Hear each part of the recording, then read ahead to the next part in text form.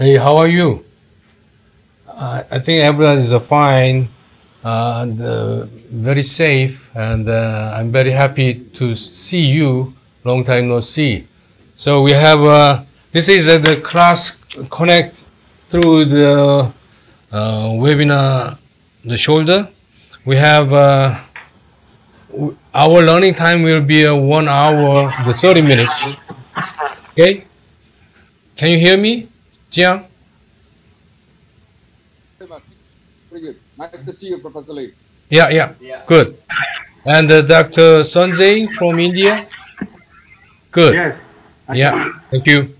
And the Professor Wei Ren Su? Wei Ren Su? He, he is not here? What about the Taiwan? And uh, Bancha from Thailand? Oh, good. So, uh, thank you for uh, joining this uh, webinar meeting. The shoulder, we have three sessions, uh, and uh, the one is uh, the first moderator is me, and the first presenter is uh, Chunyan Jiang. The second session, moderator will be Bancha from Thailand, and the two speech, and uh, the last one is. Uh, Dr. Jiang, and we will finish around uh, the 6:30. And um, please uh, don't hesitate to ask a question anytime during our presentation. Uh, we will try to answer the question when we can, even uh, the, during the talk. So uh, the I invite the Chunyan Jiang uh, double pulley tackling for the arthroscope fixation of bulky bony Bankart lesion to five years of follow with the uh, CT evaluation. So, uh, Jiang, you first. Can you can you see my desktop now? Yeah. All right. So let's begin. First of all, uh, wish everybody for this webinar that you're safe and sound during this COVID-19 crisis, and it's uh, really a good chance for us to get together to have this kind of discussion uh, among shoulder surgeons. So, okay. So uh, today I want to talk about some of my case series about a double pulley technique for a special type of bony bankart. That's a bony, uh, bulky bony bankart reconstruction. Uh, we got to know that, um, uh, broadly speaking, bony bankart means there is a defect or a, a, a, bony fragment remain uh, from the anterior rim of the glenoid. But uh, strictly speaking, when we talk about bony bankart, we're talking about the fragments. So uh, this is very uh, common according to Sugaya's uh, publication and also according to our own experiences. That uh, in the TUBS, in the instability patients, a bony bankart is pretty common in our uh, pathology in our patients. And most of them are not big enough, so we can do uh, pretty easy with a arthroscopic bony bankart recon, just with like a soft tissue bankart recon, using suture anchors to go through it. The key is that because some of sometimes the bony bankart lesion will hinder you to, to see the, the tips of your suture hook. So sometimes you have to to have your shuttle sutures uh, go into the uh, subscapularis uh, muscle fibers, then you find it. And another point is that when you tie any note from the anchor, you, you, you got to leave at least one uh, shuttle sutures in in order to pass the next suture from the suture anchor. So for this uh, uh, normal or regular bony bankart, we can have a very good reconstruction. And uh, the, uh, the healing rate is usually very high. And uh, the clinical outcome can be expected and, and to be a very satisfactory one. So this is the, uh, the cases that we just show. That one year post-op, you can see the remodeling of the, uh, the glenoid almost to the native you know, uh, morphologies. But in some cases, whatever in fresh cases or in, in some kind of a chronic cases, there'll be fracture like this. It was a very bulky bony Bankart with a very wide base. So theoretically, and also in in in the liter- uh, in clinical practice, if you use just the uh, the same way that we did for Bankart repair with one suture anchors in, then this wide base may cause toggling or instability of our fixations. So uh, back in 2011, about nine years ago, we had published our uh, surgical technique in the KSSTA, uh, describing a double pulley row technique to use um, uh, the double row suture anchors using a double pulley technique uh, to achieve a good fixation, a double row fixation for these bulky fragments uh, of the bony Bankart. So our indication for uh, for the technique is, is either to be a chronic bony Bankart in the TUBS or acute bony Bankart fragment with a displacement more than five millimeters in a fresh case. And then both of these two circumstances, you have a bulky fragment with the maximum width of the base of the fragment more than five millimeters. That's our indication. So this is our case series. Uh, we included um, TUBS with bony Bankart lesion and acute uh, uh, glenoid uh, fresh fractures and uh, treated by this double pulley technique. And we are very strict about the uh, evaluations. So we need a three complete set of radio CT evaluations, including a 3D reconstruction at pre-op, immediate post-op, and post-op one year. And also the patient had to be available for the clinical evaluation for at least two years. Hey, uh, Dr. Yeah. The MDI patients, the private surgery, or we have fixations in addition to anchors, like we have screws or button or anything. So this is only about a case theory uh, about a, a bisuture anchors with a double pulley technique. So this is our series. In about three years uh, period, we have identified 122 bony Bankart patients and 34 using this uh, double pulley technique. Finally, uh, according to our inclusion criteria, 25 was in, were enrolled in the study. The mean age is 44 and uh, 19 of them is acute cases, six of them are recurrent uh, instabilities, and the mean follow-up is uh, 3.4 years, is a two to five years follow-up. And the evaluation divided into clinical one and a radiological one. For clinical evaluations, the, patient will be followed regularly at three weeks, three months, uh, six weeks, three months, six months, one year, and every year then thereafter. And at post-op one year, there will be a CT with 3D reconstruction together with the uh, immediate post-op. And the final, final follow-up for clinical evaluations, we use ASES, VAS, and range of motion uh, to document the clinical uh, outcomes. For radiological evaluation, we use X-rays as the final follow-up uh, to do the Samilson-Prieto classification to see the osteoarthritis.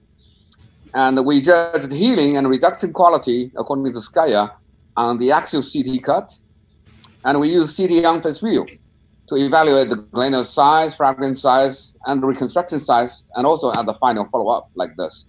So this is the fresh one that will uh, will uh, will ca calculate the, the native glenoid and the, uh, the, the fragment size, and at the end of the uh, one-year CT and the immediate uh, post-op CT, we also evaluated the added up and reconstructed glenoid size. And for the evaluation, uh, we did a little bit uh, uh, kind of a research on the reliability. We have one independent observer have three times within three months, or within two months, uh, interval average, uh, to do the uh, to the evaluation of the the glenoid. And we found that the ICC is very good, or about like 0.9, 90%. So this excellent reliability and uh, uh, with intra-observer intra-observer reliability. So this is one of the typical cases here. And uh, this bony back is a fresh fracture, and the patient dislocated three times within a week.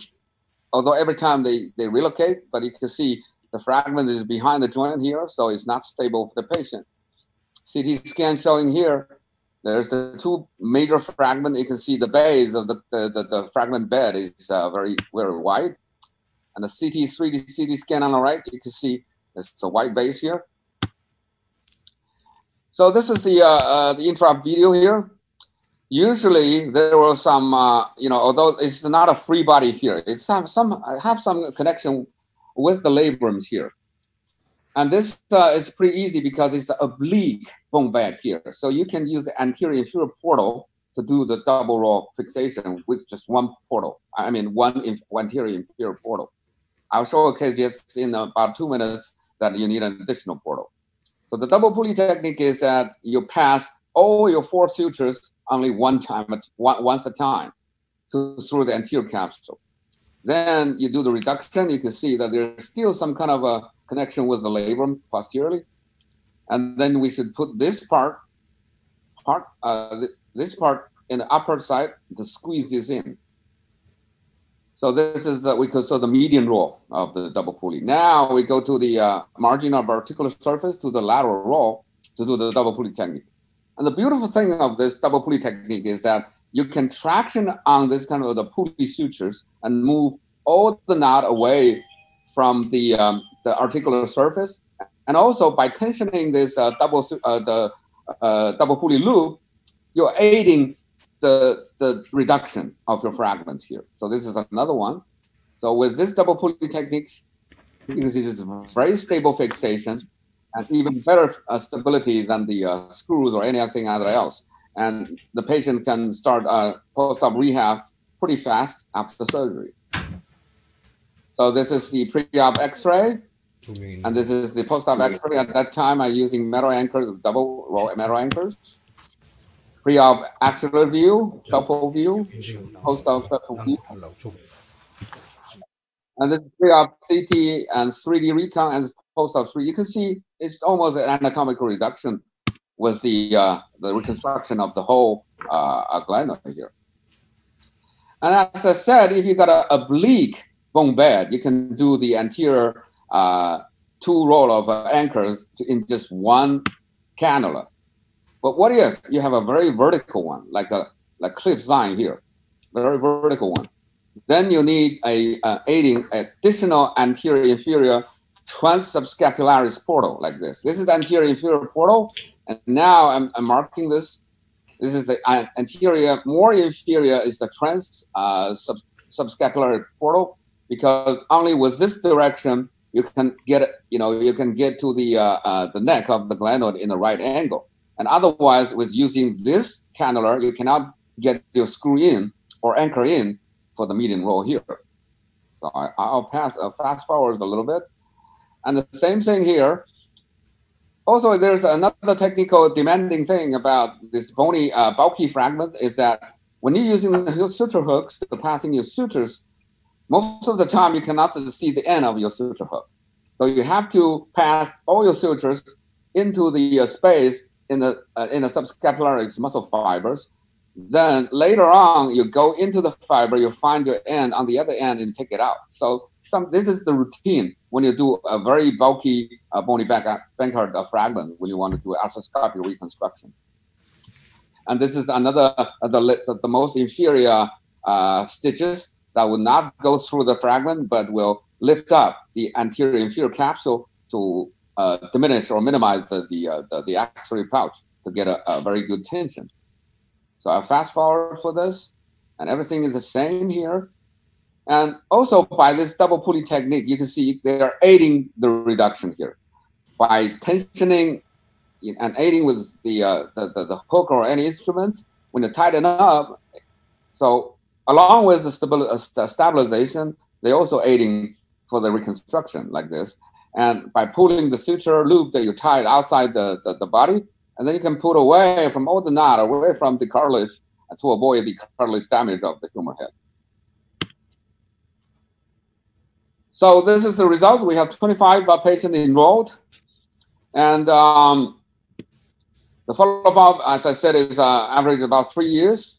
And at the final follow-up, no dislocation or instability was identified. ASES score is pretty good and very minimal pain, and the range of motion recovery is pretty satisfactory. For radiological uh, assessment, all fragment healed. Uh, that was uh, really a, a good uh, a good uh, uh, outcome. The reduction quality, I would say, 86% of the patients have achieved a good and excellent reduction quality. You can see for the 25 patients here, only four, they have fair reduction according to Sugaya's uh, classification. And all the others, they have excellent and good reduction. And interestingly, unlike the coracoid transfer, for a bony Bankart repair, there's very minimal resorption happened here. So this is very interesting. It's doing nothing like the Bristow or J, And uh, for quite of the patients, some of them are even bigger at the fine, at the one year post-op than the immediate post-op. And this is also interesting finding was also reported by Sugaya on the JBJS a couple of years ago. And his finding is that the final follow-up with the uh, uh, glenoid um, reconstructed side is even a little bit bigger than the immediate post-op. So this is really interesting thing. The, uh, the other issues regarding this double pulley technique is about you have sutures exposed at the uh, articular surfaces. So theoretically, it might have a, a, very little chance to have the abrasion of the humeral head uh, cartilage to cause cartilage damage, and then you have arthritis in the long run. So uh, we have at the final follow-up, we take the X-rays and doing the Samilson Prieto classification, and the result is pretty promising. It's only one patient with a concomitant rotator cuff tear have uh, developed from grade one to two, and there is no significance between uh, the immediate post-op and the final final follow-up uh, X-rays.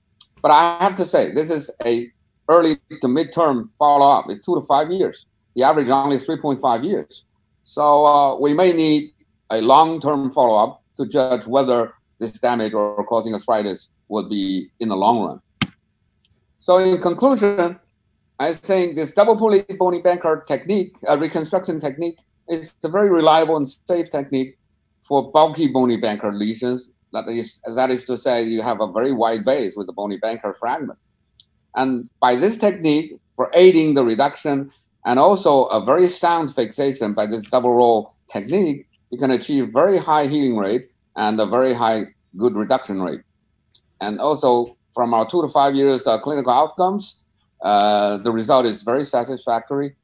And in this early stage, we could say no evidence for cartilage damage at two to five years. But as I said, maybe we need a longer to follow up to see whether these sutures would cause any problem with the cartilages. Thank you. Thank you. Uh, thank you, Jiang.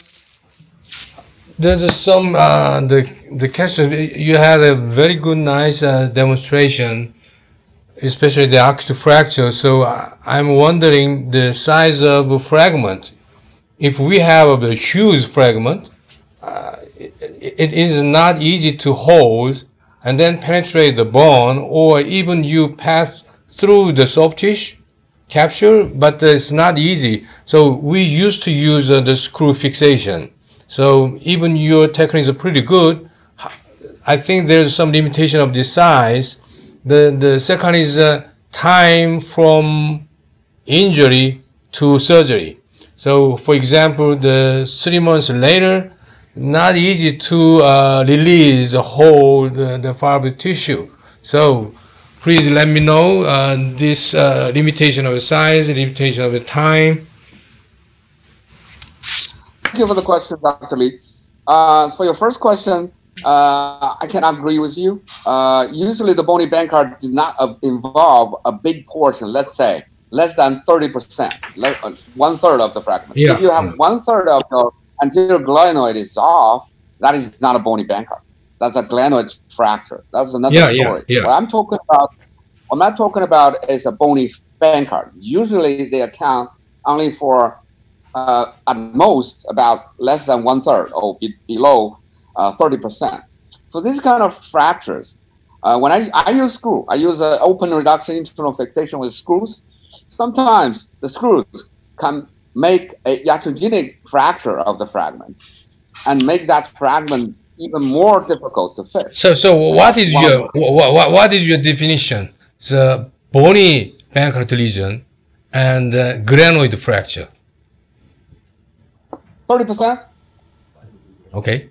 That was it. Thirty percent. More more than thirty percent, we will say the glenoid fracture. Right. Yeah, yeah. Because if you got a really bulky one, then you need a uh, screw fixation for your for your, your, your fragment but usually it account only below one third of the whole glenoid. Then when you use screws, you can even further down to cause comminution by the drilling and tightening of the screws. That's number one. Number two, as I showed the first case, a lot of bony Bankarts have not only one fragment. So although you have a big defect with fragment, it can be two fragment or even three fragment. And that prohibits, at least in my experience, is very difficult to fix with screws. Yeah. So I've tried that a couple years ago and I found my difficulties. Then I'm trying to use this kind of a suture anchor technique. And, you know, believe me or not, after the double row fixation, you can use the probe to test the stability is unbelievably stable. And I have no problem with this patient with early passive range of motions than with screws. So that's why I think this is a, a very good technique for that. And I'm sorry, what's your second question, Professor Rhee? Yeah, time said, uh, from from injury to the operation. Oh yeah, right, exactly. For fresh fractures is okay, no problem. It is very true because about six of our patient, about 30% of my patient is an old one. It's a bony Bankart with a malunion of the fragment into the glenoid neck. These are instability patients. So releasing this fragment is very critical if I do this because you have to do very cri- uh, very critical and meticulous releasing. Sometimes I use a curve osteotome. Sometimes I use the liberator from the CONMED, the, the Mhm. liber- liberated knife. So I, you have to follow the line of the malunion to go down, and you have to free up a very complete fragment of the bony Bankart. Otherwise, you give you hell to fixing that comminuted fragment. That's number one. Number two, your release is not stopped when you just get the fragment away from the glenoid neck. You have to go deeper inside, as we did the bony Bankart, to get the fragment more laterally. You can see the fresh red fibers, uh, muscle fiber of subscapularis. Because when you're passing your suture hook, sometimes, most of the time, you cannot see the tip of the hook. You have to pass the shuttle sutures into the muscle fiber, and then you go in again to find it. That means the release of the anterior bony Bankart lesion is critical. Not only get the bone away from the glenoid, but even further to get the fragments even laterally to expose the muscle fiber of the subscapularis. That's a very critical t- surgical technique Okay. when Okay. you're doing such kind of surgery. Yeah. So the, the one is uh, from the audience question: Why you use uh, the metal anchor? So it's, uh, his question is: uh, Absorbable anchor or PEEK will be better than the metal anchor? He worry about the metal irritation. Metal irritation? No. I mean, firstly, uh, I mean, So for for example. why are you- It's acute, acute, acute uh, the injury, uh, the bony Bankart lesion. We worry about uh, the weakness of the bone, so you choose a metal anchor instead of uh, old suture type or the absorbable uh, anchors. No, no, it's economic reasons. Yeah. Mhm. Okay. is a very early case. I'm now using a lot of PEEK PEEK things. It's not. So, So, uh, even fact the- is only my early. Yeah. Even the time limitation. Hey, Bancha or uh, Su, the the question, Sanjai. Yeah, Yeah. Yeah. Sanjai. Yeah. I, I okay. Uh, if- when we get these Bankart lesions, uh, bony Bankart lesions, uh, which are relatively older, and you release them, then it at the time it becomes very difficult to control the that fragment to its original bed. Uh, I, I've done very few cases uh, after discussion with Sugaya uh, in the past. And uh, what we do, we try to reduce it to the bed and just fix it with a very thin K wire after passing the medial uh, anchors. We do a, uh double row type of a fixation and uh double pulley technique as you demonstrated very nicely. Uh, the same technique we use, we put anchor on the middle side, we reduce the fragment to its uh, bed, fix it with a thin K wire, and then we pass the, uh, the other anchor or the uh, anchor on the glenoid face, and then we try to uh, tie the suture, and then we remove the K wire. So that eliminates a lot of hassle which we got uh, because we have very limited experience in that, very small number of cases. But that that's one thing which we found uh, was quite helpful. Thank you. Thank you, So, Sanjai. Guy, I have a very. I think it's a question. Is that a question? I mean, I just want very short comment. Sugaya have a very good technique on that. Of course, I, I also try sometimes to fix it, but my technique is different because Sugaya have that bone stitcher. Well, by the way, it's not comment. I'm kidding. He got a bone Right. stitcher. He passed sutures through the bone. I never do that. I pass my suture around the fragment. Okay. I- So that. I cannot fix the fragment first. I have to pass it around. So I agree. It's it's pretty tricky when you're not fixing it to do the reduction. But I'm telling you, with a double suture, with a double pulley technique, when the tight suture with aiding some of your instrument there, they can aid for reduction. So it's two ways. So Sugaya's way is beautiful, but he got his own instrument. But if I if I want to do my thing, I cannot do that. Okay, thank you, thank you.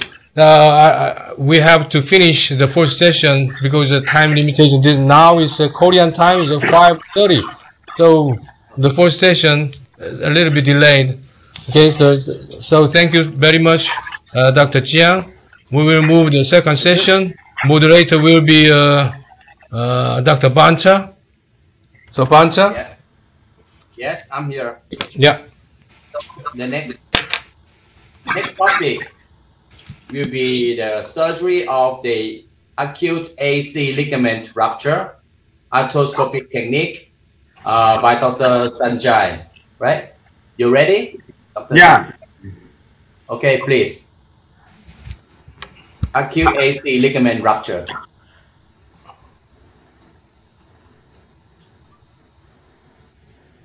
Actually, uh, my, my topic was just uh, totally focused on the internal bracing concept and uh, how you do internal bracing when you are talking about uh, these uh, AC ligament injuries.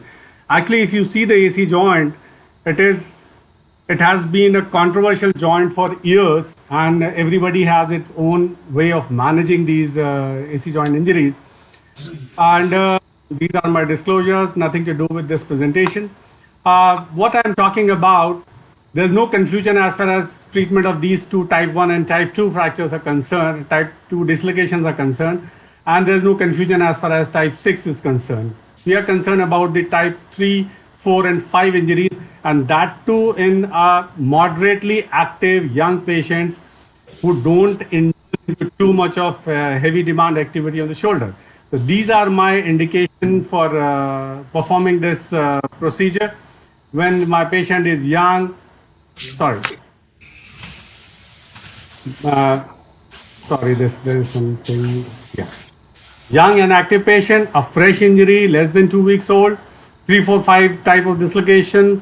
There should be no prior injury or surgery in that area. It becomes very difficult to do these surgery. Then we have to go for more re- uh, larger reconstructive procedures. There should not be any related injury. And if my patient is of heavy demand uh, for this shoulder, then I would prefer to need an augment rather than going for internal bracing. So uh, I, I, I have a short question. What is a type 3 for you? And uh, everybody agree with uh, uh, him, type 3, uh, you try to operation or conservative treatment? Wha- wha- What is a type 3? Uh, I, I, I would uh, discuss with the patient and uh, I would prefer to do a stabilization in type 3. Uh, if, if patient uh, wants an active mobility and faster recovery. But otherwise, type 5 are definite indications. I- So I'd like to know the, because The Okay.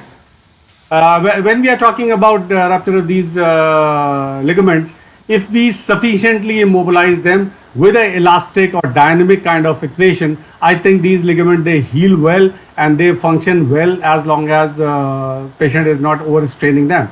And this is the classical dislocation. And what I am planning to restore this that the coracoclavicular distance as well as the acromioclavicular distance should be maintained, and that ha- that is the key of uh, giving a good outcome to my patients.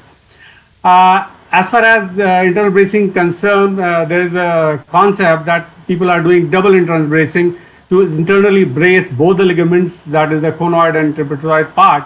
But I personally feel, as far as uh, this part of the word is concerned, my clavicles are concerned, these are relatively smaller clavicles. I prefer to do a single bundle uh, internal bracing rather than the dual uh, bracing, and that too pertaining to this conoid part. And once you reduce this to its original place, rest of the ligament usually fall in place and it gives a good outcome. Uh, when placing these uh, fixation points, I would prefer to fix my point at the, the clavicle, the junction of the uh, two curvatures of the clavicle and where is the maximum posterior uh, convexity, uh, apex like that convexity, that is the area where I want to fix my uh, clavicle and that to try to keep it in the center of the clavicle so that the chances of breakage and late failure are not there. As far as coracoid is concerned, again, I would like to keep it on the center of the coracoid at the base of the coracoid. Mostly when we are doing arthroscopic surgery, it's uh, difficult to visualize the middle end and many of the time we are placing it more lateral than medial that it has to be taken care of during the surgery. Uh, of course, uh, we have to have an implant. Uh, there are two metal implant, one on the clavicle side, one on the coracoid side, whatever we are comfortable uh, it should be uh, stabilized with either fiber wire or fiber tape depending on our comfort and uh, level and availability and some kind of jig which we, we can align with a guide wire, reduce the clavicle, put in a guide wire, then drill it through that and leave that drill in place to use as a guide for passage of a suture passer. It is very, very important to locate the proper clavicle point and then protect it with uh, two uh, Hohmann retractors and place my guide wire or jig in the center of the clavicle. That, that's very, very important to prevent any breakage and loosening of the. So this is how uh, uh dislocated, this is basically a type 4 uh, dislocation. It looks like. And uh, these are my portals, a standard posterior inferior portal then a working portal that is an anterolateral portal and a low anterior portal which is uh, for the so this is the AC joint approximately 2 to 3 centimeter medial my uh, point for the clavicle fixation anterior inferior anterolateral and this is my standard posterior entry it is a beach chair position which I would prefer because that gives allows me to manipulate a quick diagnostic arthroscopy so that uh, we don't miss anything from the inside of the joint. And then we make our anterolateral portal. And uh, with this anterolateral portal, we'll be uh, putting our uh, RF probe and try to uh, release the uh, rotator interval. It's a loose cellular tissue to reach to the undersurface of the coracoid and at this point, it is very, very important that again, the whole of the coracoid has to be identified and the medial and lateral border needs to be identified very clearly so that we don't place our uh, jig um, in a wrong position and the chances of breakage of coracoid and failure of fixation occurs. Once uh, all these soft tissues removed, there's hardly anything there. It's a very simple technique. Just remove it and we can visualize the coracoid under surface very well we really have to reach to the uh, the base of the coracoid and uh, then try to clear the medial edge of the coracoid. That's important. This is your middle edge, this is lateral edge. And then we, once the clearance is done, we can switch our viewing portal to anterolateral portal and then try to create the uh, anterior-inferior portal. So this anterior-inferior portal will allow us to place our jig which will be reaching to the undersurface of the coracoid. This is a jig. With, uh, this is an Arthrex jig with uh, these few medial and lateral uh, humps which allow us to place it very well nicely under the coracoid. And once that is placed and confirmed, we can do a drilling from the up. Again, as I said before, protecting with the two Hohmanns and placing my drill bit in center. And first I drill it with a drill bit. I prefer to uh, drill it uh, with a reduced position that gives more accurate positioning and confirm again that my drill is in the center and just reached outside the coracoid. And once it has been uh, identified, we just drill it over with a 4 millimeter cannulated drill bit. And this drill is left in place and the guide wire is removed. And inside this, we can put any of the suture passer which we are comfortable with uh, so that since in this case we are using a dog button, so we'll be putting, uh, taking the suture passer out from the anterior inferior portal and uh, taking it outside the joint so that we can attach it with the suture. And along with that suture the dog button can go inside and sit on the once suture is retrieved outside we remove the drill bit and then we take this uh, whole suture inside and take it uh, on the proximal side. So the, you're pulling it out so, that now the suture is going in and this, it is very, very important at this point, once we are pulling this suture inside, that we should be guiding this uh, button to the base because it's a very large button and many of the time it is stuck in this uh, soft tissue. So it has to be literally brought under the uh, coracoid process and it should be seated well so that uh, the future chances of loosening or malpositioning is avoided. Just checking this under the fluoroscopic control, under the arthroscopic control that my endo button is seating well or dog button is seating well. And the stability is there and there is no soft tissue and then we try to pull it, reduce the clavicle and fix it with another uh, dog button or whatever metal device we are using on the superficial side and try to tighten it. Once we are tightening it, we just have to confirm very well that joint is well reduced before sitting. We have checked it intra-articularly. It is very well reduced. Check it on the image intensifier that it is well reduced and then the final position we can leave it uh, tight. You can see that uh, the coracoclavicular distance is maintained very well and uh, even the AC joint is uh, maintained. Thank you very much. Uh, I, I, think it's a very simple technique, quick technique for uh, these kind of managements instead of going for a larger double bundle or uh, augmentation technique. Even if I have to do an augmentation in this case, I can just do it through the same incision and put in a grassless uh, graft to augment in case uh, that is an indication and I want to do that. Thank you very much. Thank you. Can I have a question? Yeah, sure. Yeah. So um, we can see the very nice your demonstration, but we, we, we can control superior, inferior, uh, the position through the fluoroscope. But how can you know the AP, anterior posterior uh, alignment? Because uh, it's not easy to check this AP. Very, very true. That that's uh, difficult to assess.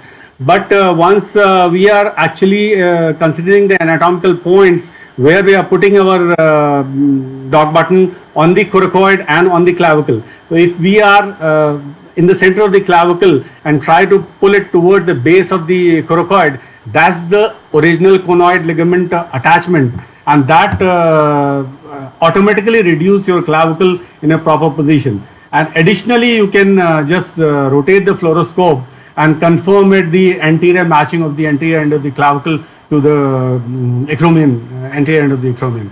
That is another way. And uh, thirdly, you can go uh, on the AC joint from inside and just uh, confirm under surface of the AC joint whether it is properly aligned if you are really worried about that. Hey, Bancha, please, please, your, your trick. Yeah, they, okay, you hear me. They blocked me. So don't miss me again, okay? So, okay. Yeah, I, nice talk. So I, I'm, you don't mention about the AC ligament.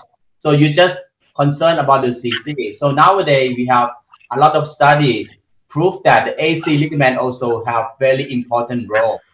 So what you are doing is just addressing the CC ligament? You have any answer to that? Yeah, definitely. Uh, AC ligament is equally important. Yeah. But uh, if, if you see the studies done in the past, even if you put in a cross K wire and you do a lot of fixation techniques have been used and they work well. So what my contention would be to do it in a low demand patient, do it, leave it. In case we find any instability of the AC joint further, Yeah. prefer to do a reconstruction later or if he is a very high demand patient i might do reconstruction at the same point You mean reconstruction in acute setting, right? augmentation it is Augmentation. repair with augmentation in the same setting Okay. So uh, you treat the type 3 and type 5 in the same way or not? Type Yeah. 3, type 5. Do you Uh, mention about the little trapezial fascia? three four five in the same way uh, but i would definitely see the demography of the patient what is the demand of the patient Okay. and that, that would be more important than uh, just the classification of the practice Yeah. So there's a questions from the audience. They're asking about how, what about your results? Like two years, how about the X-ray comparing to opposite side? Question Uh, the, it- we, we have done a very limited cases. We have just done 12 cases. We are following them and uh, patients are doing fine as far as clinical outcome is concerned. Uh, the trouble is in our part of the world, the follow-up is not very good and most of the patients, they don't come for follow-up until unless they have some problems. It's very difficult to follow them. So, uh, uh, frankly speaking, I don't have a very clear-cut uh, follow-up of all my patients. We are trying to retrieve them. We are trying to uh, get a telephonic uh, evaluation of them. And till then, they, they are doing fine. But I, I don't think that's the correct way of doing it. Unless, unless we examine and do a uh, radiographic examination and clinical examination, it's very difficult to comment on that. Okay, thank you. I think I'm done for this AC joint section. Personally, Yeah. I go back to you. No, no, no. There's one more question from the audience. So, uh, Yeah. if if there is a, the suture is pulled out during the surgery, what is your the, the second option? Ah, yeah, Suture pulled out. You you already have uh, made the uh, hole. You can reinsert your suture uh, with that. Because uh, these holes they are in line with each other. So it's uh, easy to um, put it again from the top. You insert a uh, suture retriever suture passer something from top and reach to the undersurface of the coracoid and you have to redo everything because already the holes are there 4 millimeter hole is there it's easy to locate and uh, do that so that that should not be a big issue Okay, another short question from the audience. Do you put the KY in and how long you put the KY to remove it? uh, K, K wire on the AC joint yes? Uh, not not really, not really. Once uh, it is a type three, type four uh, injuries, and I'm able to reduce them well, I would not put in a K wire, and uh, I would uh, just uh, put patient on arm sling and mobilize uh, as per their pain tolerance. Once I'm dealing with a fracture of the lateral and the clavicle, I would definitely put two K wires and uh, mm, I'll remove them around four to six weeks time depending on the tolerance if it is impinging or causing pain I might remove it early otherwise at six weeks you remove it Okay. I, I have. Actually, that uh, hey, Bancha, can I can I ask? yes. The, Yeah. For the, the all faculty, the same question. Type three. What is Bancha? What is your type three? Type 3, I let the patient choose because it's controversy. No, no, no, Some no, patient no. How can you know that is type three? or type three. The Yeah. the AC joint just it just goes subluxation above the uh, acromion. It's not that high. So, uh, That type- Su, Dr. Su or Dr. Jiang, do you have any clear the idea which is the type three? Of course, I got clear clear idea. Uh, the day I drink is a type three. The day I don't is type. no, So- I mean, according to, to, to Rockwood, uh, there's two uh, elements. to differentiate from type 3 and type 5. First is how high you get it. Type 3 is within 100%. Yeah. Type 5 is between 100% and 300%. That's number Yeah. one. Number two, during the surgery in a type 5, you can see there will be a more injury to the fascia, to the uh, trapezius and the deltoid fascia together. And the whole distal, two, distal like five thirds of the clavicle is totally smooth. No insertion of muscle anymore. So that end of clavicle may go way up high or even posterior. So you need two points to determine whether it's a type 3 or type 5. But I have to say, if you do not go to the surgery, only judging by that 102, 300, some of the type 5 can become type 3 in a week. That happens. That in my patient, that happens. So uh, for me, the type three and the, the plain X-ray reduced, but uh, we we have some the stress on the AC joint, the thirty percent less than one hundred percent uh, displacement. That is type three.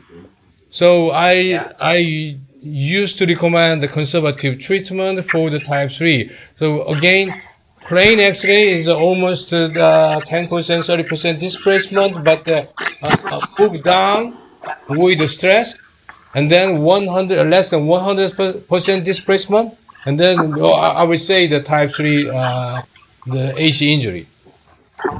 Yeah.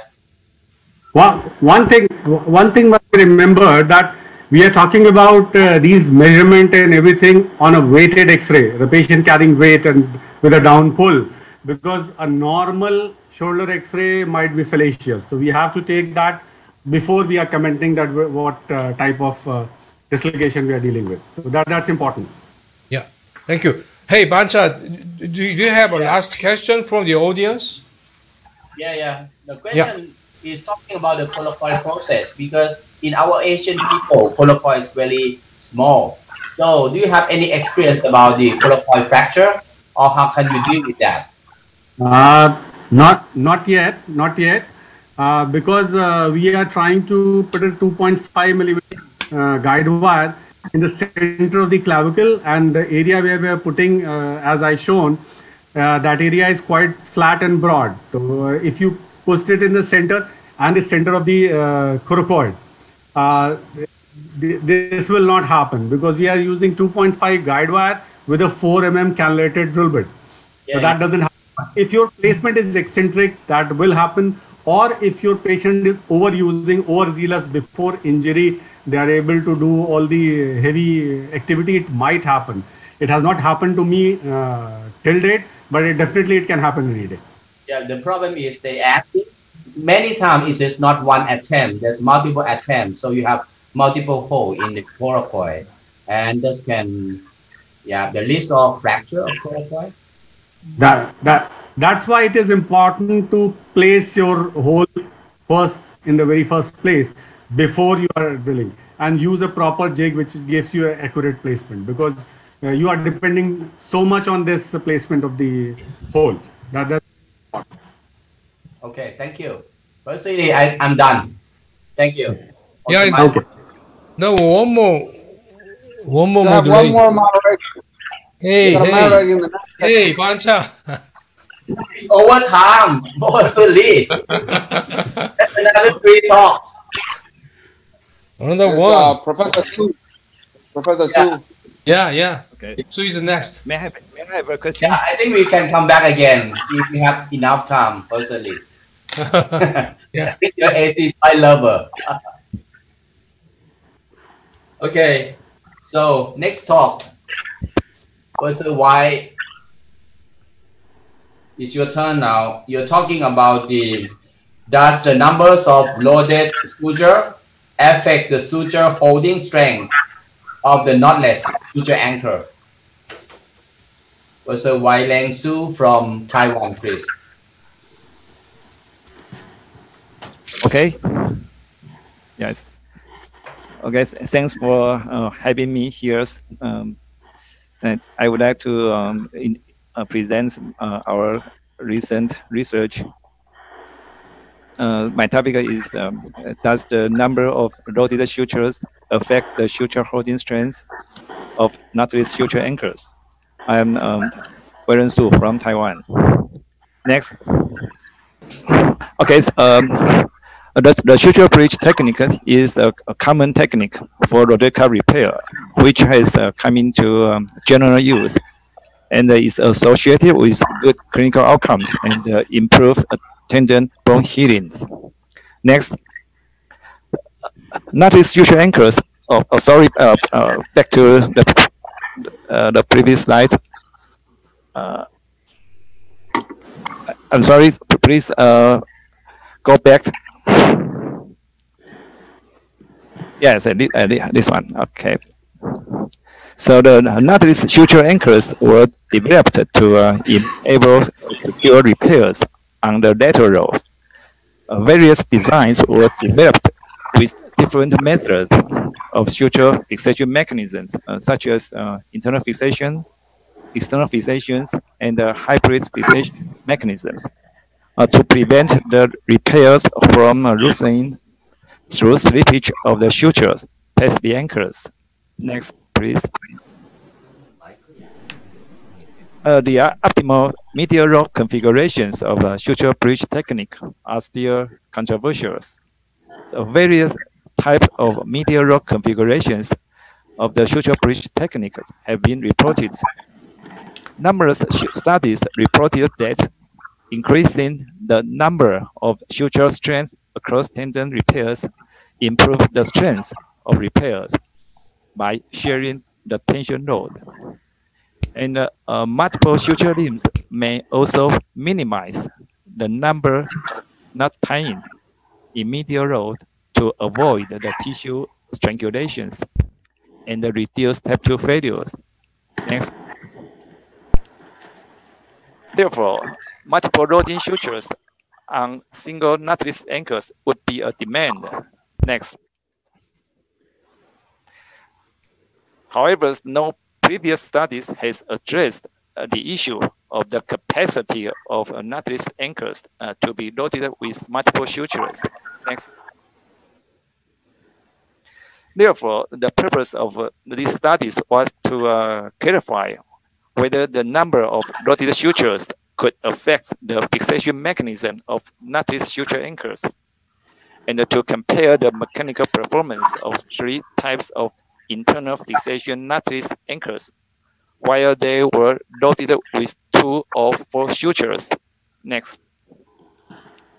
The methods, next.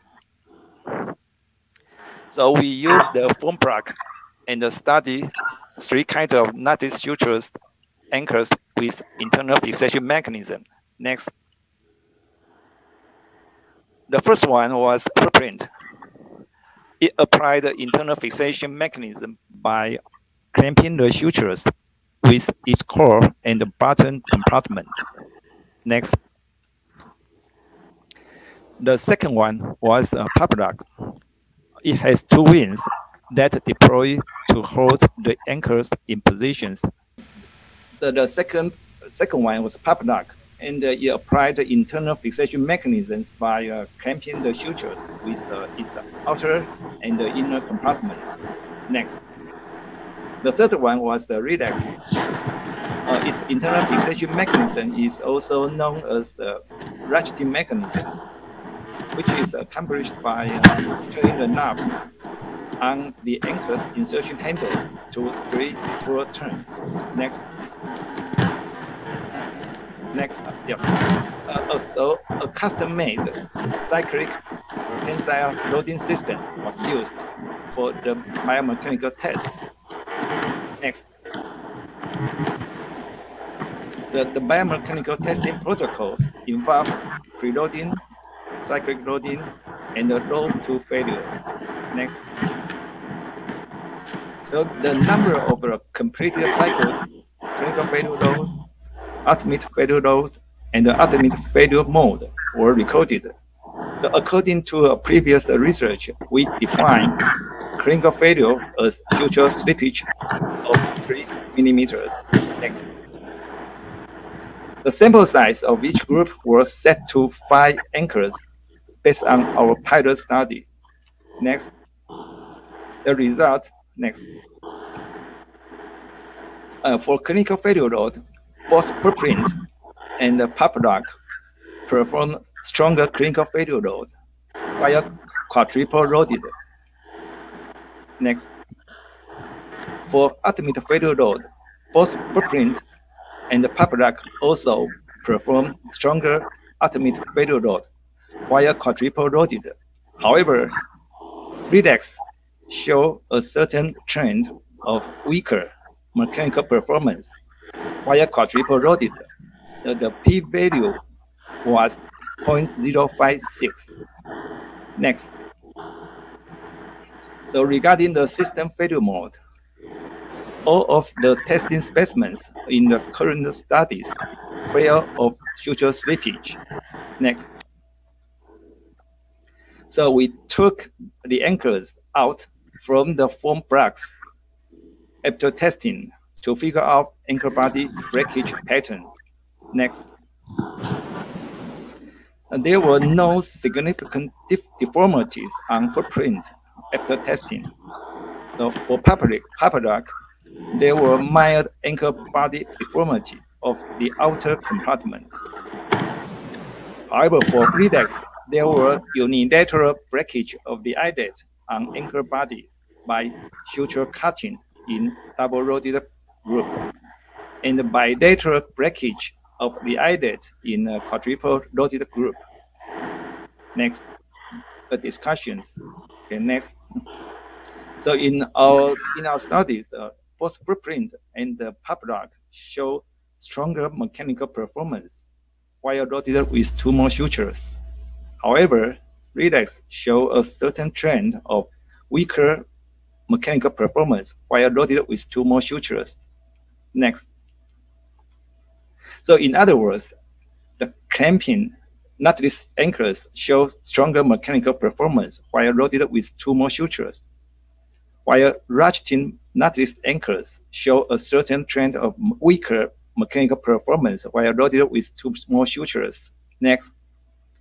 So uh, this result suggests that uh, while deploy the ReelX by turning the knob to advance the suture, the anchors will be expanded and deformed. Next. While loaded with uh, multiple sutures, ratcheting anchors show greater deformity, which could uh, undermine the microstructures of PEEK anchors. Next. So this could be approved by the failure mode. In these pictures, the quadri quadruple loaded group could have a weaker peak shear, which suffered by later breakage of the eyelid before the anchor could reach a greater strength. Next. So uh, therefore, according to the result in the fixation philosophy, uh, clamping knotless anchors, which suffers no deformities during deployment, could be a better choice for multiple loading. Next. So we further analyzed the single suture mechanical strength of uh, each structures. The single suture mechanical strength uh, equal to the total failure load divided by the number of loaded sutures. Next. So in clinical failure load, we found that all groups show single suture strength decline while loading two more sutures, and significantly for the ReelX group. Next. Uh, in ultimate failure load, we found that all groups also show single suture strength decline while loading two more sutures and also more significant is for the ReelX, uh, ReelX groups. So the strength of single sutures in all three types of anchors declines after extra loading sutures, especially significant in ReelX.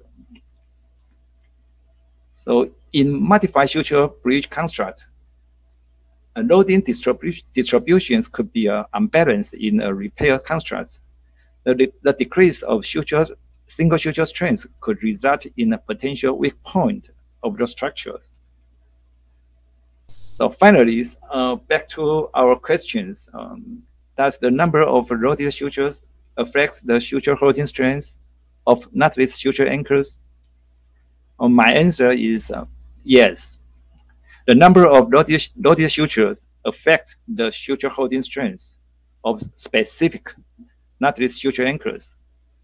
A clamping knotless suture anchors could be a better choice for multiple loading sutures the degree the decrease of single suture strength uh, could result in a potential weak point of the structures, which could be a concern in a multiple loading knotless suture bridge construct. Thank you. That's my presentation. Okay, good. So, um, so the what is your this these articles you're comparing many companies. So is there any um, me mechanical proof that uh, which company is better? So it's critical to say that, right? You, you're comparing Smith and Fields with um, Linvatec. How can you conclude that? Oh, okay. Uh, there are many um, uh, suture anchors designed for the lateral, the knotless suture anchors. So uh, in this article, so we just uh, compare the internal fixation, uh, fixation mechanisms of the suture anchors uh, instead of the the, the the the other suture anchor like the external fixation mechanism, uh, like the the three lock or PopLok. So for uh, for the uh, the internal fixation mechanism, uh, uh, in these articles, the results show the the ReelX has the, the superior mechanical performance while loaded two sutures. However, the, uh, when the ReelX loaded uh, more sutures, uh, its the mechanical force declines very fast. So the um, my recommendation is that uh, when we uh, uh, try to use the multiple suture limbs uh, on the uh, laterals, then the the choice of the knotless uh, the the knotless suture anchors could be the clamping, clamping mechanism like the the Footprint or the PopLok. So uh, in, in these studies, the, the Footprint seems a little bit better than the PopLok. But, but, but you cannot say that because Dr. Su, this is the testing in the lab. Right? Yes, yes, yes. So uh, in practice, maybe you have no difference. Yes. Right. So this is the testing in the lab. You cannot conclude and you say that this is better because it's just the yeah in the in the uh, in the lab. This is a Sorbonne lab, right? Lab. Yes, this, this, this is the, the this is the uh, mechanical test in the lab. So we, we cannot translate these results to the clinical uh, practice. Sure, I, I, agree. Yeah. So you have any, any further investigation or any further um, paper in human? Okay. Oh yes. Oh yes. Yes. Um. Uh, uh, there are many uh, literatures uh, compares the the many uh, modified suture bridges, uh, the clinical results. Uh, but but it's um, it's very difficult to tell the, the which suture anchor is better in this clinical scenario. So so this is just the the the, the, the result in the lab only. Okay. So there's a question from the audience about what is done on materials from the same company. You're you're discussing about the material or not? Uh, I'm sorry. It means the material. Materials. Yeah. Uh, you mean yes? Uh, in this study, so we uh, we compared the, the suture anchor uh, the made of uh, the the PEEK Yes. So we don't compare. Well, we don't we don't compare the the the, the other the other uh, materials, the other composites like the uh, like the the the, the, the P, P, PLLA or PLGA. Yes. So that's another question. They're asking, what is the final conclusions which knotless suture anchor is is better? Which one is better? Cannot say.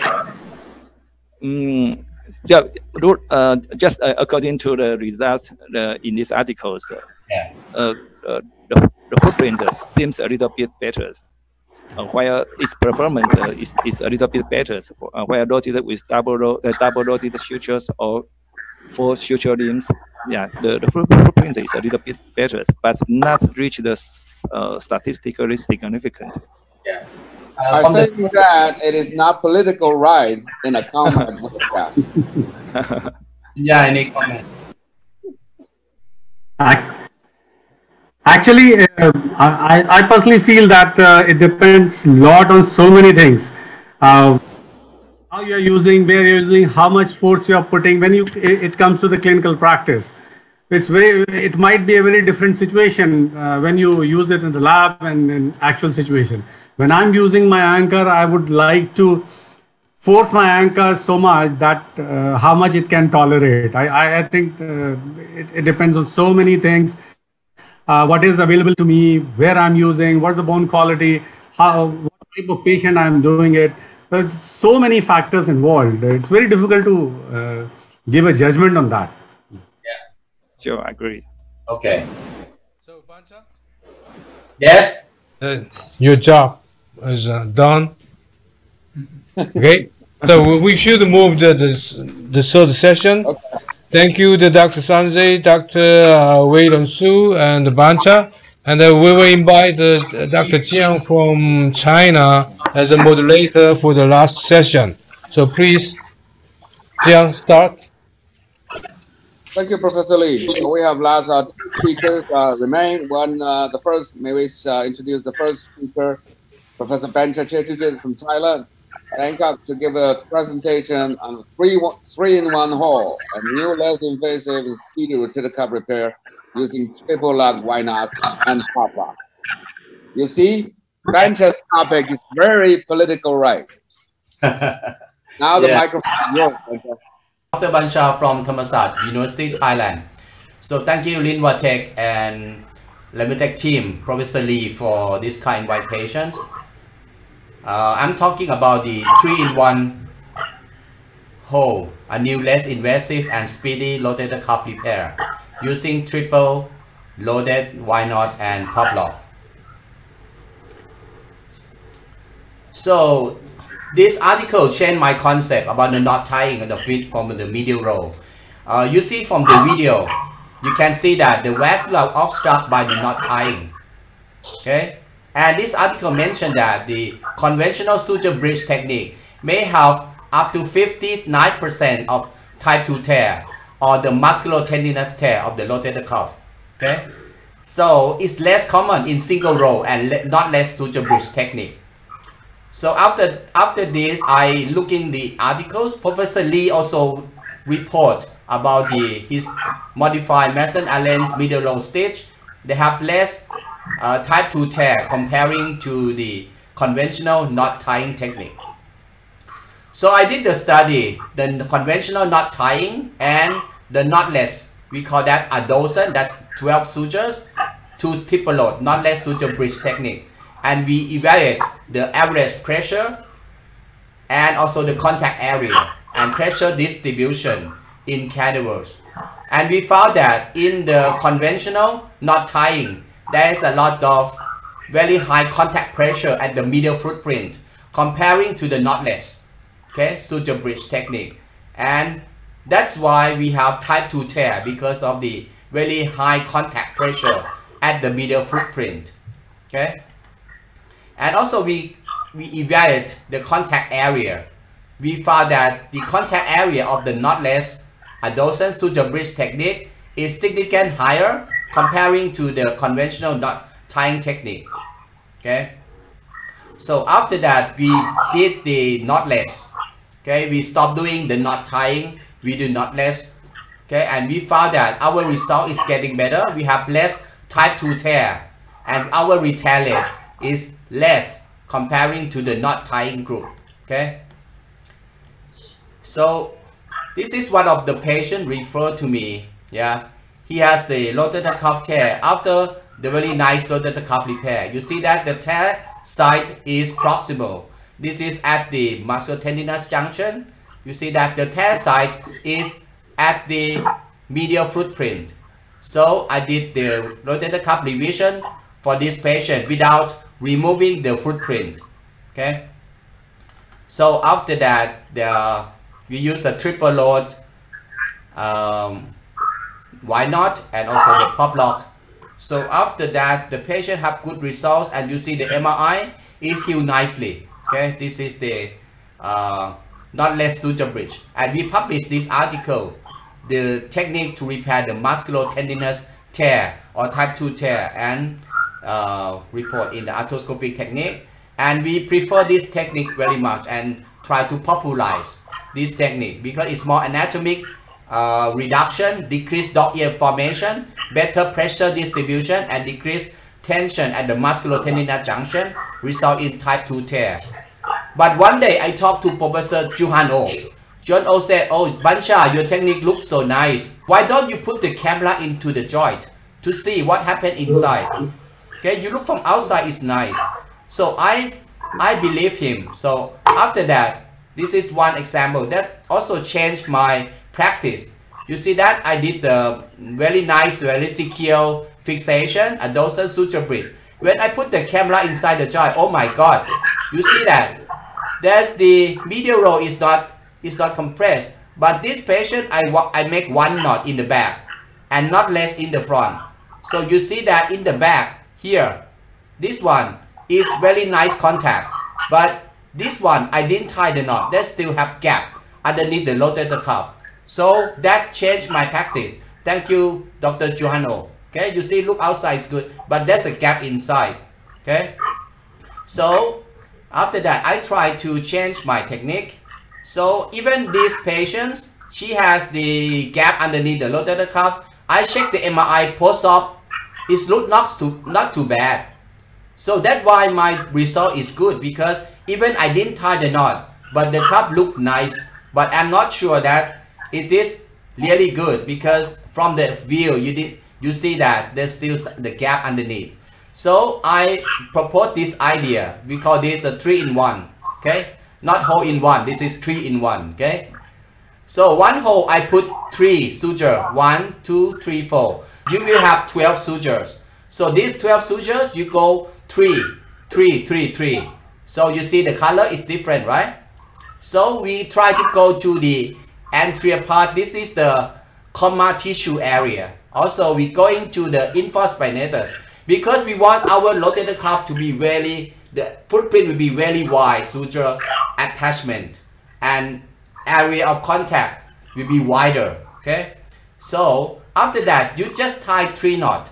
The first knot is the yellow one, the second one is the white one, and in the middle, you connecting the front and the back.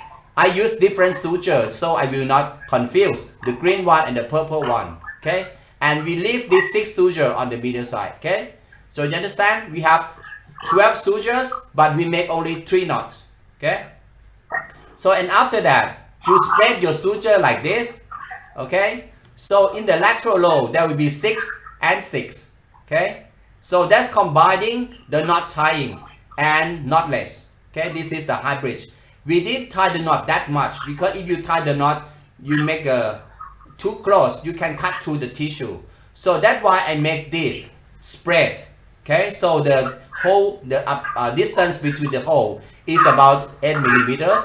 So you can see that this is an after repair. You can see there's a knot tying and also there's a knotless it's a combination right? Like that way okay so that's my idea, okay? So on the lateral row, you need to put the first in the very anterior, close to the bicipital groove.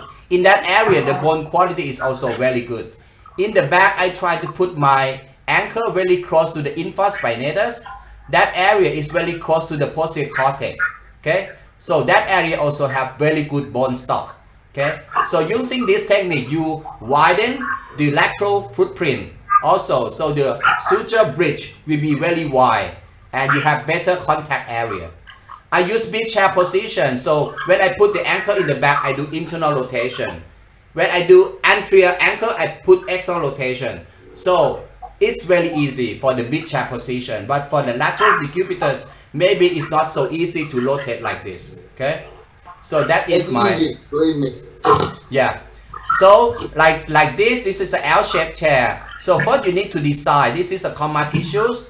You put the first hole here, second one here, third one here, and another one close to the infraspinatus. Okay. So you need to have the good design like this one. First we make a microfracture at the footprint. Okay, we use the uh, triple load. Y-Knot? Okay, and then pass the suture in. Okay, like we design. If there's L shape, very important. You need to secure this apex. We call the apex reduction. So you pass one suture in the anterior cuff into the rotator, uh, into the comma tissues. Okay, so the hole, the distance between the hole will be wider because we try to spread it. So you have less chance of the strangulation. Okay, and then we put the PopLok on the lateral side. Okay, like that way. Okay, so this is the way I do. Okay, for the lateral cuff. Um, okay, that way you have uh, combined knot and knotless. Okay, so this is an article for that. If you put the anchors too far too lateral, you can cut through the tissue. You should put it medial to the uh, rotator cable, right? The hole between the rotator cuff should be should be not too not too close.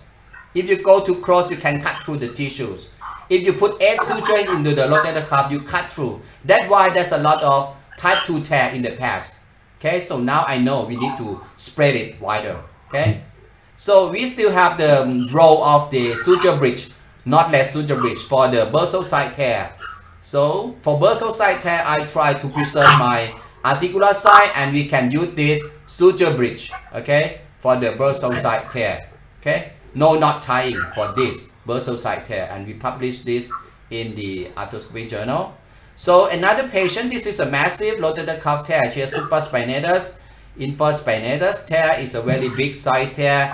So first, eh, you need to uh, release the rotator cuff from the coracoid process.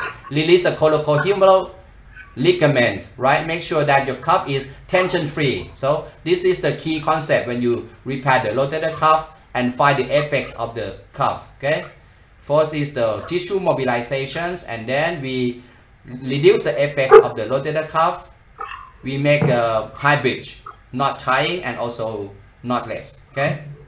And finally we get this result, okay? So this is the MRI after the surgery and she has a good function after that. So this is another patient, she is 47 years old, ladies, I just done it last week. So the way I tell you the trick, you make two, okay, and one, not three in one hole because it's impossible. It will, it, the suture cannot pass. So you make two, we have one knot with two suture, another knot with one suture, and then you can pass this into your rotator cuff. And this is less trauma to your rotator cuff. Just one hole, you have three sutures, okay, like that way. And then you try to spread your lo uh, the distance between the hole, not make it too close, okay? And then not tying. So I tie the knot like I show you in the diagram. We tying the first one anteriorly, the second one posteriorly, and the middle one. This is you see that? That's different colors. Okay? So you're not confused. This is in the middle. So you have only three knot tying. Okay? And the rest is free. Okay? After that, you make the lateral low okay? Same like I show you you uh, the first hole should be close to the bicipital groove especially if the patient have osteoporosis. This area is very strong bone. And another hole is in the back close to the infraspinatus okay? And that is the final repair. So you have knot tying and also you have the knotless. Okay? So after that I put my cannula into the joint.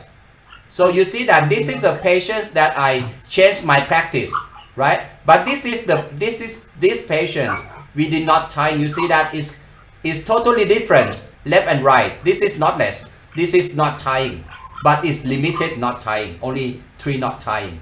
Okay.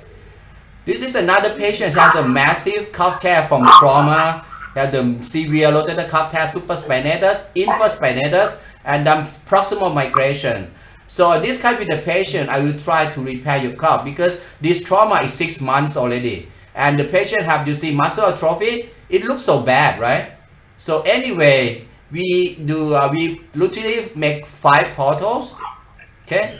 So first we try to pull the cuff, it's, it's very big, cannot reduce to the footprint, okay? The next step is to release. I think this is a very critical step. You need to release your cuff from above, from the coracoid process, release the coracohumeral ligament, right? After that, this is coracoid process, right? Most of the time in the chronic massive rotator cuff is always stuck there, okay? After you release that, and also this patient, I try to release the uh, capsule also, the IGHL and also MGHL, okay? The post that would reduce the post-op uh, stiffness, okay? Medial side, most of the time I use only two. But this patient we use three because it's extending to the infraspinatus also, okay? And then we pass the suture in, okay?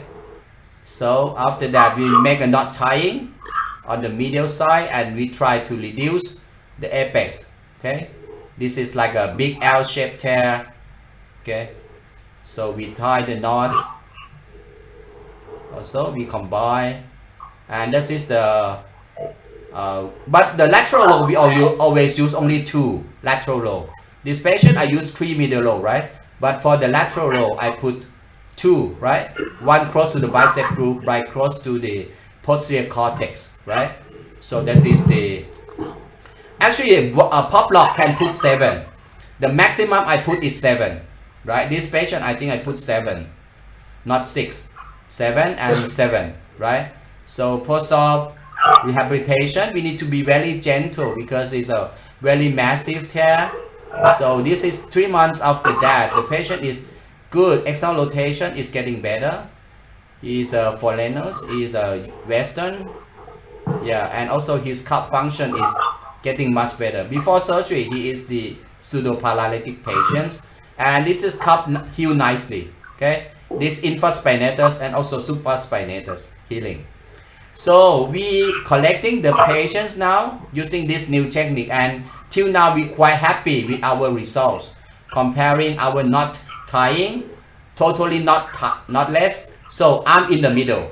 I'm in the middle. Professor Rhee, yeah, my teacher, Dr. O, oh, my friends, I'm in the middle. I'm not not tying with knotless in the middle. The benefit of this technique is less trauma to the cuff. You have only four holes in your cuff less blood supply disturbance, less strangulation, and less operating time. Okay. Thank you very much. The, this year we moved the our APCAS 2020 to December. It is this is pre-course. Is the irreparable rotator cuff course with three musketeer, uh, Teru Mihata, Elhassan, and Pascal Boileau. Okay, please come to Thailand. See you in Thailand in December 3 to 5 and visit our website appcast2020.org. Thank you. Thank you, Bancha. Uh, uh, you show us a very beautiful cases. So before anybody have the question, I'm a little bit confused. You said you're in the middle. You said you're between the knotless medial row and the knot tying medial row. But for right. me, you're definitely medial row knot tying. You have three knots in the medial yeah. row. Usually I just do two. Yeah. So why do you say you're in the middle? You're totally a medial tying guy. Why do you say you're in the middle? You tie three knots on the medial row. Yeah. But you're not worried about the type 2 re-tear anymore? Oh, no, because uh, from the study, we found that if you put the space between the hole, okay, more than 7.5, you have less chance of circulation, less chance of type 2 tear, okay? I so think, let's be clear. Yeah, let's be clear. that Yes. you're tying the suture from Yeah. different anchors. Is that right? That's right. That's right. So instead of suture coming from the same suture anchor, you're tying two suture anchors together. I Right. did this. Sometimes I do a double pulley. Yeah. So that's your point. Okay. Yeah. You like it or not? Oh yeah, I like it. I like it. I I, I think uh, uh, Dr. Uh, Sanjai have a question. Yeah. Yeah, uh, the question is that uh, once you are doing your initial time, whatever you are doing in the initial period, you have shown that the medial uh, fixation was lifting off from footprint. Uh, Okay. What was the clinical outcome of those patients? I'm, I'm sorry because uh, there was disturbance in the videos, we, we, we can't see that. Okay. Uh, so what was the outcome? What was the clinical outcome? clinical outcome is pretty good. So this patient, I'm very, I'm very sorry. I feel so not so happy because I already put the lateral row. I put the scope in. I see that Yes. a gap, but I did I study after that. It's nicely healed and the patient is doing well, right? So I'm, from my my, uh, arthroscope view, you see that there's a gap. Okay. That, that, that's what I was coming to because if your lateral row fixation is uh, well over the bone and it has healed well, a medial lift off might be a boon in disguise because once you adduct your uh, shoulder, it is going to come back to its uh, original place and that will be maintaining its blood supply and vascularity much better than just strangulating it into the place. So may, may, maybe uh, you don't need to change that. You sure? Um, there's a question. We are, we are running out of time, but there's a question from the audience saying that why did you uh, doing the lateral row fixation first with no knotless, leaving the suture, few suture later, tying the median row, and that will give you a more clear idea that you can press down the median row. Do you get my question? You should. Uh, why didn't you to do all the sutures on the lateral first, Yes. and then that lateral did not incorporate the, the sutures that will be tied on the median row? You have a lot of sutures. Yeah. So use the suture that is not tying to the lateral first. then go to the suture that you will tie, but not come through the uh, knotless anchor on the lateral. yeah. You got the question? Yeah, I, I got it. But Yeah. I use the suture, Chunyan. I have 12 sutures. I put it all the sutures the lateral row because I want I want the wide area of put of coverage, footprint contact from the So you study. need 12 sutures, both six each on the lateral. So you're, you're not wasting any limbs, right? No, no, no. Okay. Let me let me ask you. Yeah. You have two anchors, th- uh, three suture and 12 suture end. You're Mhm. passing twice at a time, right? Two suture at a time. That means you're piercing the tendon six times. No. Six times. No, No. no. I, You're two I, in a hole. You're two in a hole. I have four holes only. I have Oh, you four. You have three suture in a hole. yeah, three. Three Oh. by four is 12. Okay. Yeah, three by four is 12. Yeah. Because the, the area of the video is not that wide. So if you put more than four, I think the distance will be shorter. Okay. You know? Yeah. You know what? Okay. I Yeah. think we're running out of time. and I think there's maybe some kind of uh, you know similarity between your talk and our last talk with Professor Rhee. So we'll go on to Professor Rhee's last talk, and if we still have the time, we can put the discussion later. All right? Thank you, Okay. Benjamin, again for your excellent video and for your excellent presentations. Thank you. Now come to the end. The last, not only the, the least, but the most important person of our webinar, Professor Yong Girl Rhee, to give us the last speech about arthroscopic rotator cuff repair using the Y-Knot RC with the tape. Professor Rhee. Thank you, thank you, Xian. So uh, I want to talk about how to optimize the double low rotator cuff repair. So sometimes we meet the medium size or a large size rotator cuff tear like this. I already introduced these uh, three passes for the rotator cuff repair. That is a semi uh, line uh, that is a subclavian, the visor, and the posterior infraspinous, the passes. So I say the three sisters passes, again the visor and posterior infraspinous, the passes, uh, with the use, uh, using with this T-hander. So uh, the first, that is a subclavian passage for the anterior cuff, like this and then uh, pass through the rotator cuff and then they catch uh, this uh, tiger wire this is a PDS number one and retrieve back and the, the same procedure I choose the another tiger wire. Left to the blue one is a tape. So that I catch the rotator cuff just lateral to the musculotendinous junction. Pass through the nubis uh, the passage for the the middle cuff. And that that is the same procedure. I like uh, this T-hander. So I, I want to introduce uh, this T-hand. The length is about uh, 110 millimeter. The 40 degree angle as a tip. Diameter is a 1.5. So uh, what is advantage with this T-hander? The bite.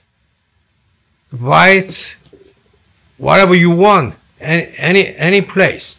And a very easy path under the rotator cuff.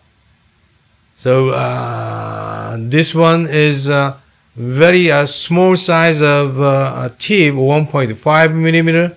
And look at this, even the very narrow space, comparing with the scorpion, very easy path through the rotator cuff.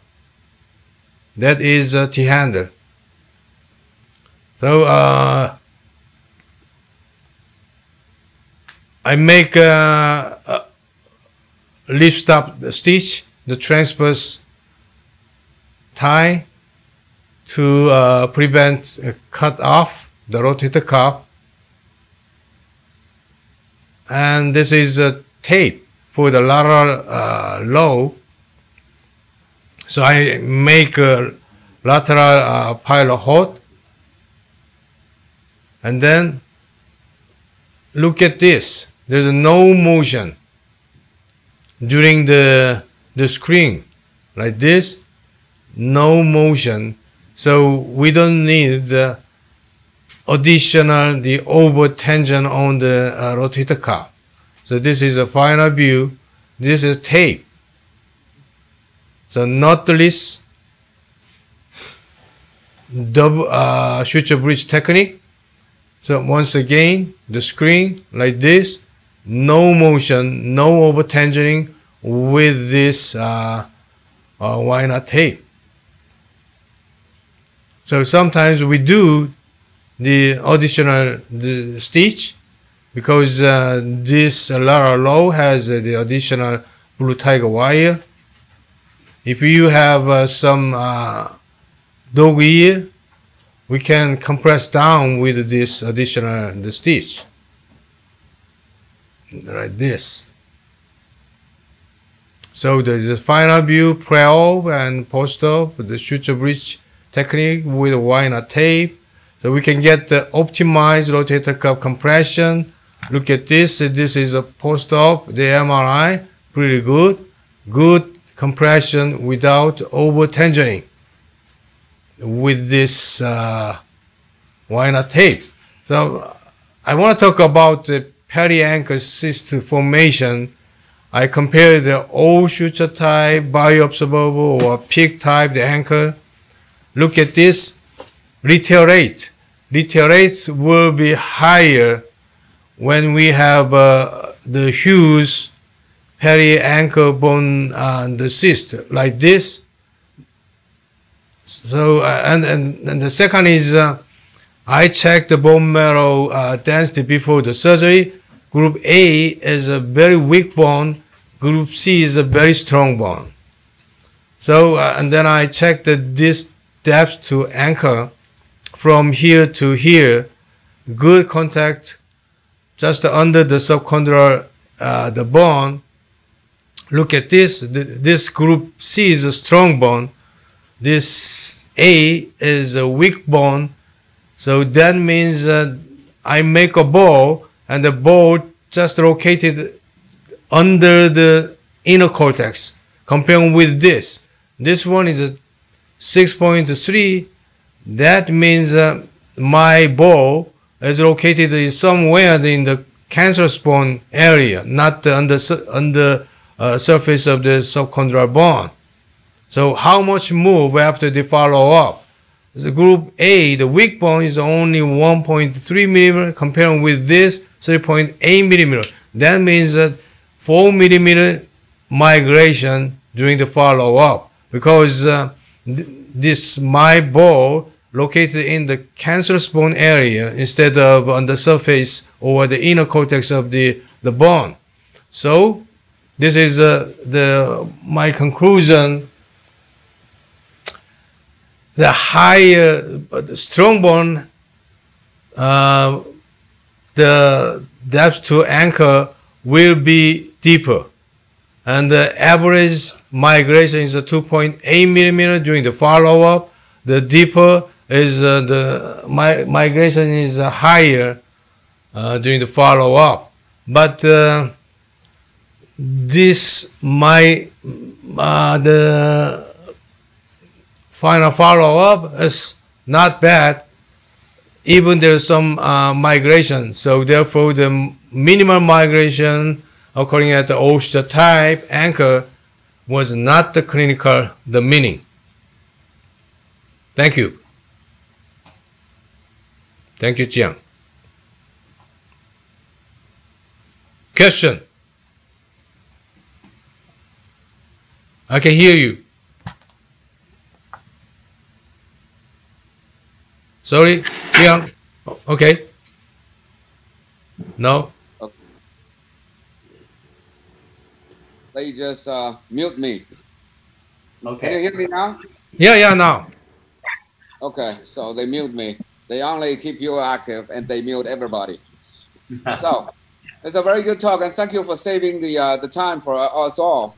It's a very good talk there. So let me be clear. It's also regarding Rebecca's presentation. Professor Rhee, you published that very good article about type 2 repair.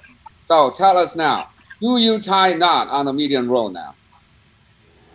So uh, now uh, I just introduced the, this the double row, the suture bridge technique, but uh, I now the prefer the single row. So why I choose the, the, this single row? I think this uh, rotator cuff healing.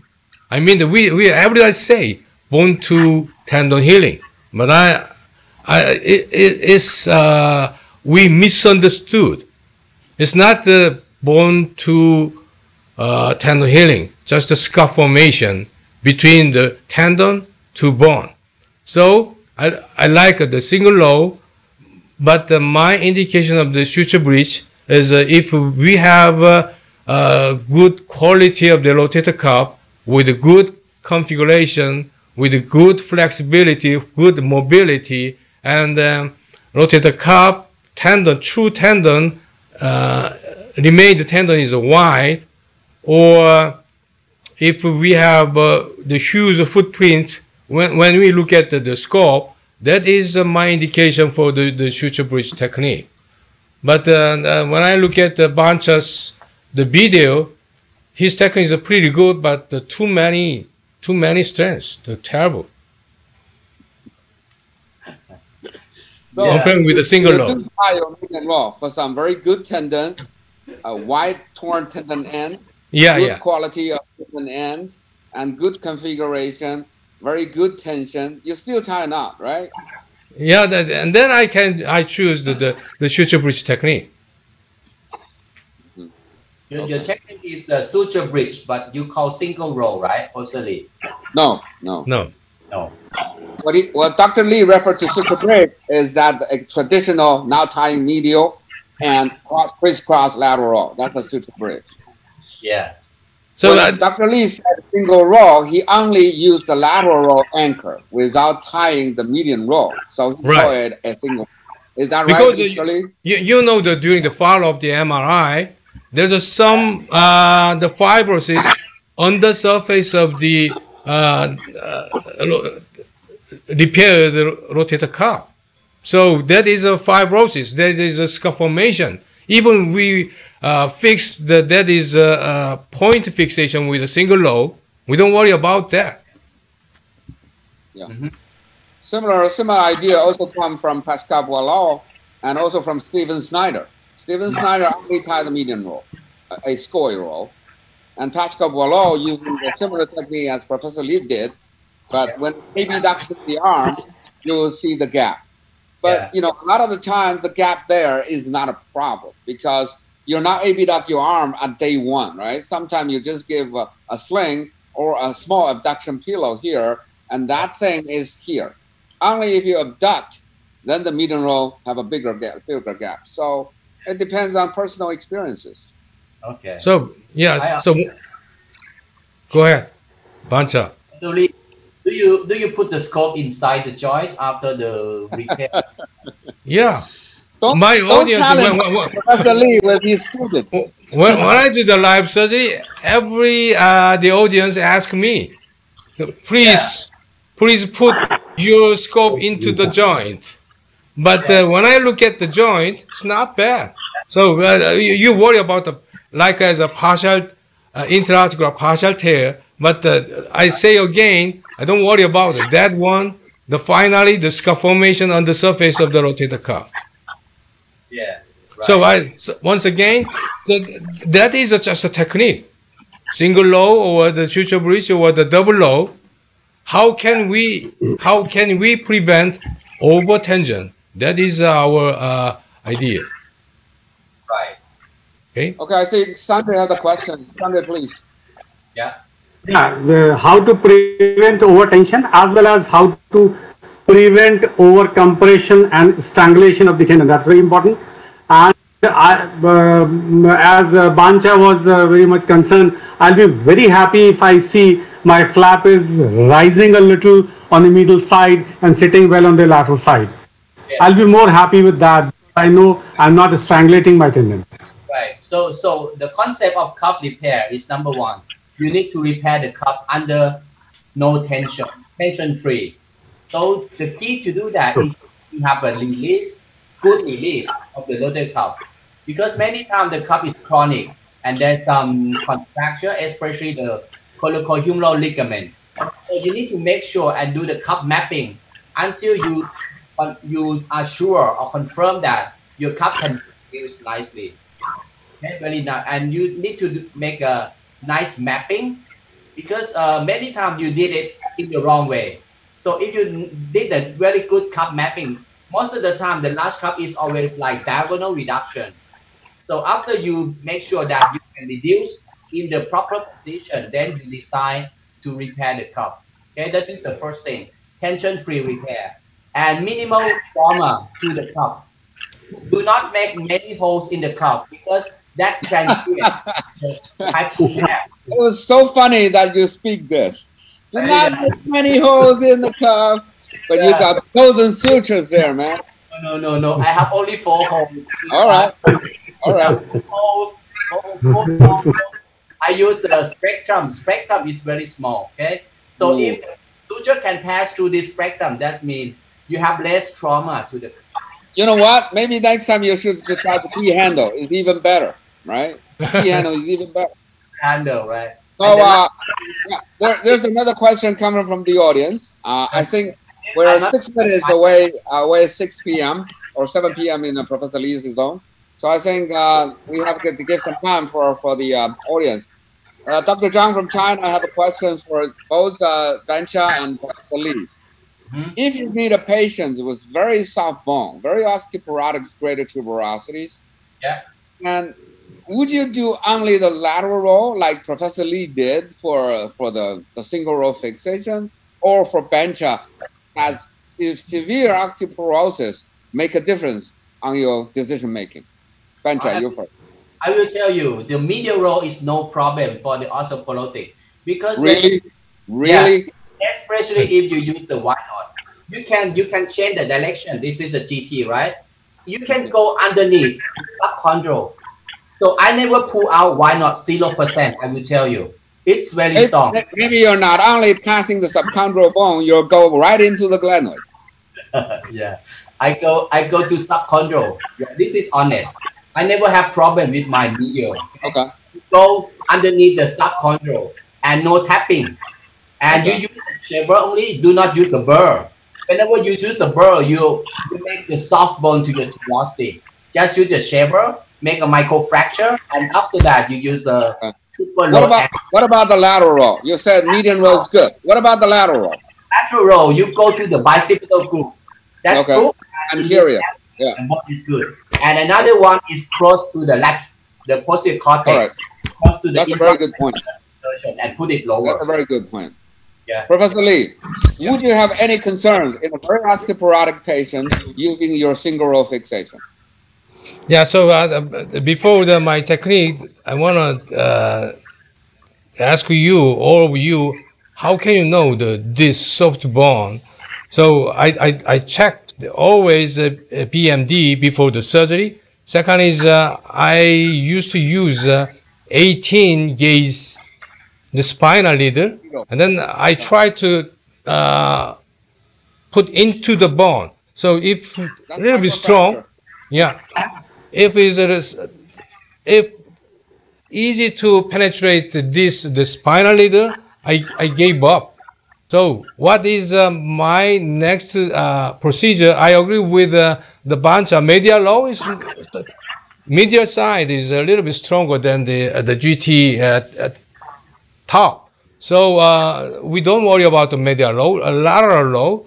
So we can choose uh, far away from the GT top because they have the cortical bone. So uh, we can choose this uh, the lateral side. The second is uh, even I do the far away from the GT, the pull out, and then I do the open.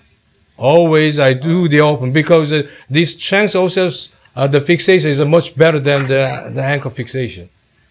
I, I agree. I agree. So I, uh, I think we're done with our session, a little bit uh, postponed. So I'm hand- handing back to my microphone to Professor Rhee. Oh, thank you, thank you, uh, all of you. Thank you for the joining this first time the CLAAS, uh, the uh, webinar. Because uh, actually, I want to go to the, the Bali. You know, the Bali is a very nice uh, uh, area. I agree. So, I yeah, agree. I, I I miss I miss. Anyway, uh, thank you all of you, uh, the Bancha and Su and Jiang and Sanjai. I I hope you enjoy our the webinar, the audience. So I think the good speaker, the good uh, moderator, uh, good audience. So next time, uh, th- this Comet Limbate will be. Uh, we'll prepare again for the uh, our the the Asian the show the people. Thank you. The the safe safe stay until the coronavirus. We should overcome in this uh, this period, and then we will soon again. Uh, yeah. Andre, Yeah, yeah, it's good. Yeah. So we have to say goodbye. If, if, if any comment for the short speech, the Bancha, Yeah, No? no, no, I'm happy. I'm happy. yeah. Yeah, but I need too. So, so, uh, Okay. yeah, yeah. See you soon again. Thank you, thank you, all of you. stay safe. Keep safe, stay safe. Yeah, Drink more. yeah, Drink more. yeah. Thank you, Thanks, thank uh, you. Bye bye. Bye bye. Bye bye.